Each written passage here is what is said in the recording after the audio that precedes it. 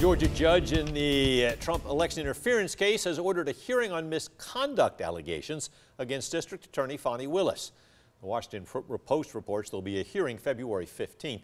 The judge will hear evidence regarding a potential inappropriate relationship between Willis and her lead prosecutor in the case. One of the co-defendants in the case accused Willis of the relationship, but did not provide any clear evidence. Meanwhile, the Atlanta Journal-Constitution reports Willis is accusing the lead prosecutor's ex-wife of attempting to obstruct the case against Mr. Trump. Willis's own attorney is arguing she should not have to appear in pre-trial deposition in divorce proceedings between Nathan Wade and his estranged wife. Spelman